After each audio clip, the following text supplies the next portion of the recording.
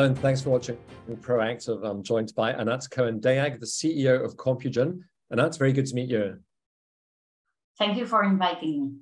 You're welcome. So, Anat, for those viewers not familiar with the company, tell us more about Compugen and what you do.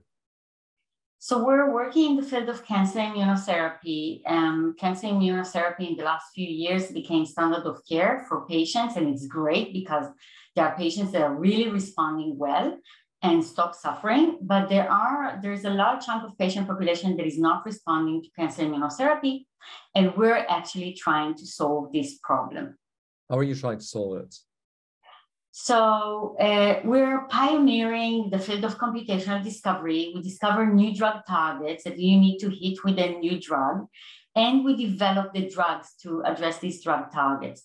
We're actually leaders in the field of what is called the DNAM axis, where we discover two drug targets that we believe work in harmony with the standard of care, with the, with the PD-1 inhibitors. And we are now working on two programs, uh, two drugs that are targeting these drug targets that were never combined before, not the two of them, and definitely not with the standard of care. And we're treating patients with these uh, drugs now in clinical studies, and we have really initial, uh, very promising clinical data. You mentioned you're pioneers in computational drug discovery. Is this something unique to Compugen? It is unique. We uh, actually uh, started to work in the field of computational discovery many years ago. And we were pioneering uh, um, uh, the field of target discovery within computational discovery.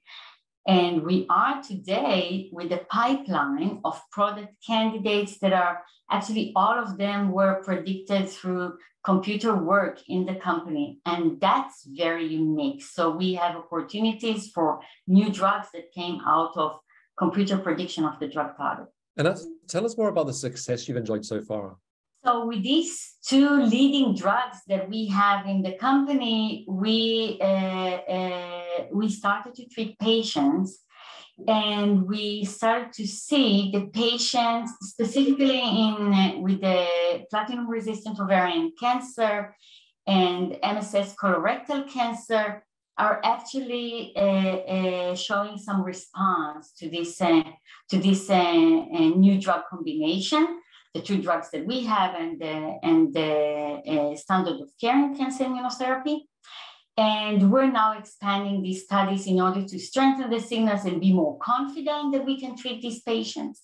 And, and the potential of these uh, two drugs is, is really much beyond these two tumor types that we're covering today. And that's amazing. And that's what's your vision for Compugen? So we're really looking to harness computational discovery uh, tools and systems that we develop in order to identify new drugs that will help cancer patients. So to really to develop new treatment solutions. And the next steps, what's, what's next for Compugen? So, um, so on a few fronts. First, we're continuing the clinical trials, and the, the uh, aim is really to be able to turn these two drug candidates into drugs that are treating patients, specifically in these two tumor types, into the two types of cancers, but also in additional cancers. And we're having additional drug candidates that are in the pipeline. We have a collaboration with AstraZeneca that that's the third program in the clinic that we have. And we have an earlier stage pipeline with a program that we're presenting data for this program uh, uh, this week in Germany, in a conference in Germany, where it's in the preclinical stage heading to clinical. So there's a lot of Compugen plates to pursue in the coming years. And what is it that the market doesn't understand? I think that it's the fact that on one hand, there's a great potential for a company that brings first in class drug opportunities to treat patients. It's totally new potential solutions for patients suffering from cancer.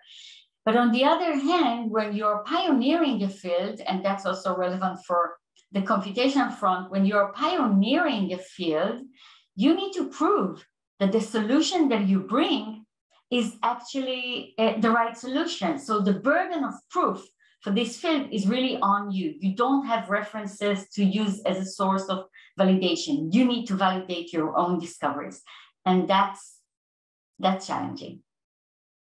And that's, I hope you'll keep us posted on any progress. Thank you very much for the introduction today. Thank you. And that's Cohen-Dayag as the CEO of Compugen.